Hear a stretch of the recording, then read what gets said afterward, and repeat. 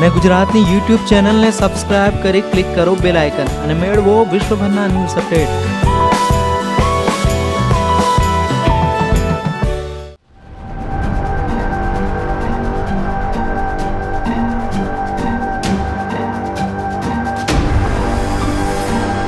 દાહોદ જિલ્લાના દેવગઢ બારિયા તેમજ દાનપુર તાલુકાના જંગલ વિસ્તારમાં દીપડા રીંછ સહિતના જંગલી પ્રાણીઓ વસવાટ કરે છે ત્યારે દાહોદ શહેરની અગ્રવાલ સોસાયટીમાં દીપડો આવી ચડતા લોકોમાં ભયનો માહોલ સર્જાયો હતો, જેમાં દીપડો મકાનની બહાર પાર્ક કરેલી એક કાર નીચે છુપાઈ જતા સ્થાનિકો દ્વારા વન વિભાગને જાણ કરવામાં આવી હતી.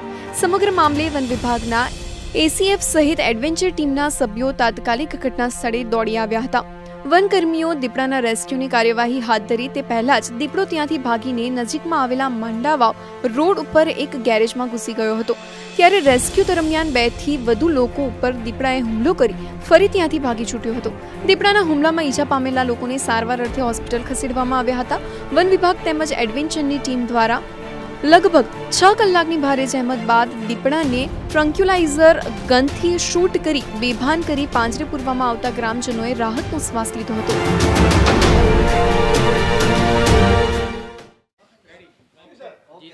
આજરોજ સવારે સાત વાગે દાહોદ તાલુકાના દાહોદ શહેરમાં અગ્રવાલ સોસાયટીમાં દીપડો આવી ગયેલાના સમાચાર મળ્યા હતા. તાત્કાલિક વન વિભાગનો સ્ટાફ ઘટના સ્થળે પહોંચી ગયેલ હતો.